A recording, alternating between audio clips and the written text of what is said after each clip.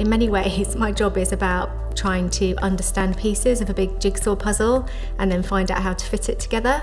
The fact that it's quite difficult, I actually like. It's kind of sometimes a bit of a love hate thing, in that uh, if it was easy, I think it would be a bit dull. It's, yeah, just trying to really figure out what is needed and then create normally a whole load of change to, to put those things in, in place. I've always felt that um, if I've got a job that I'm not afraid of, I'm not quite happy. Yeah, I find that you grow the most when you are pushing yourself. I spent a few years living in India, working in India, and that was a really big, like, transformational time for me. It was really my role to set the culture of the whole team. And it was the first time that I had really realised how important it was for me to um, be the role model for the team, but also to be myself and to make those two things work together. I consider that I sort of went there as someone who had some experience, and I left knowing actually I'm I've learned to be a leader here. What excites me about data and tech is that um, it's it's changing the world, and for me it's because you know data does hold truth, and you've got to do a bit of jiggery pokery to get to it, but the truth is in there and it will point you in the right direction. If I could give some advice to my teenage self, I would say um, just enjoy it more, believe in yourself more. The, um, the difficult times have a real purpose too. So don't think when times are tough you're getting off track. You're actually probably really on track. So just sort of try and embrace the hard times because when you look back on them you'll realise, wow, that was actually an amazing time for me. If someone's not feeling confident, I think the first thing is to um, just reflect on what are the things that you're really good at, you know, and make sure that that's what you're doing.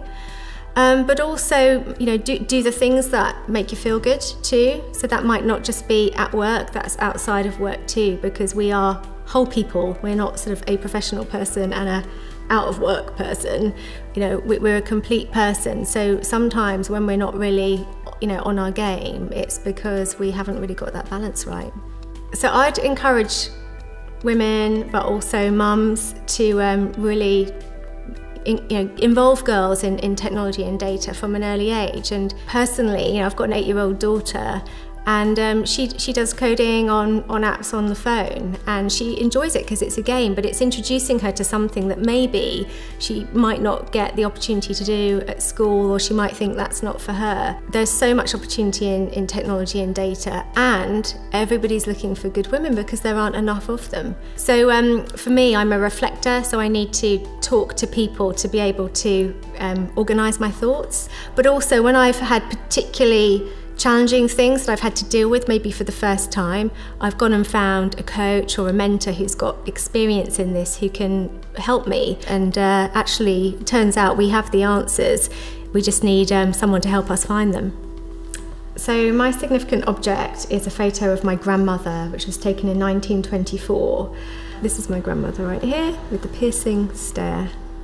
And she had a very tough childhood, and um, you know her circumstances were very different to mine and those of my daughter.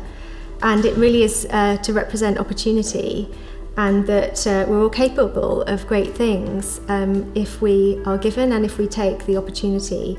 And the good decisions that my grandmother made, and then my mother, have given me the opportunities that I've had, and I want to hand that on to my daughter and you know to future generations. Um, so yeah, that's that's why this is very important to me.